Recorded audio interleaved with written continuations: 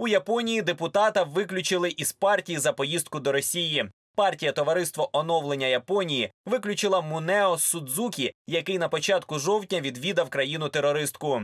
У відповідь Судзукі сам подав заяву про вихід із партії. Інформаційне агентство Кьодо повідомляє, що під час свого візиту Судзукі заявив, що впевнений у перемозі Росії у війні проти України. Він став першим японським депутатом, який відвідав РФ із лютого 2022 року.